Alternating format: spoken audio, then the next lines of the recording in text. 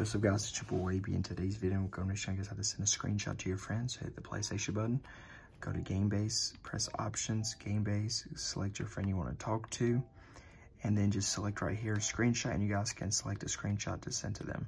So if you guys enjoy this tutorial, and I'm out. Peace.